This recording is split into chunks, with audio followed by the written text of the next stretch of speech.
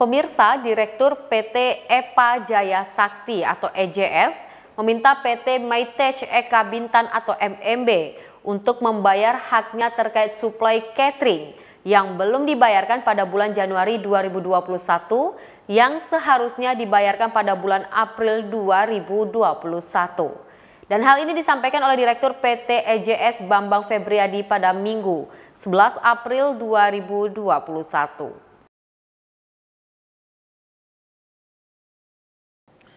Dilansir dari koran perbatasan.com, Direktur PT EJS Bambang Febriadi menyampaikan sesuai kesepakatan awal bulan ini dibayarkan untuk bulan Januari.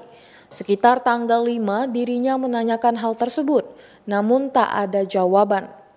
Padahal dirinya hanya meminta haknya yang seharusnya dibayarkan oleh PT MEB.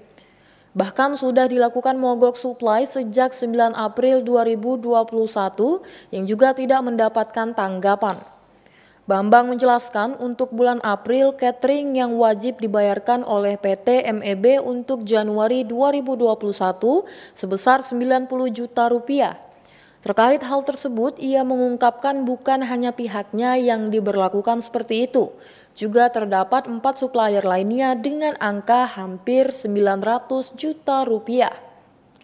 Bambang berharap keluhannya ini atau haknya dapat didengar oleh pihak pusat PT MEB dan segera ditindaklanjuti serta diberikan haknya sebagai supplier sesuai kesepakatan awal kerjasama.